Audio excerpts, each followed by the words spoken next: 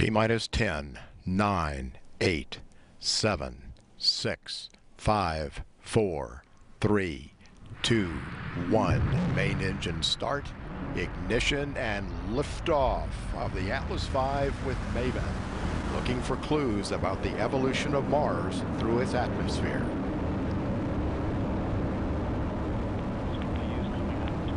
Control.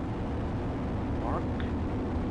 Looking good. Still at 100% rated thrust on the RD-180. Vehicle rates are looking good. We do have roll program in, right as expected.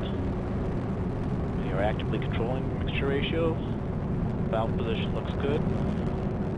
We're now 1.6 nautical miles in altitude. 1.1 miles downrange, traveling at a little over 1,000 miles per hour.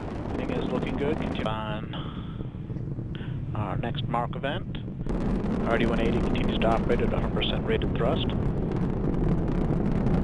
We're about to pass through max Q. And vehicles passing through max Q, rates look good.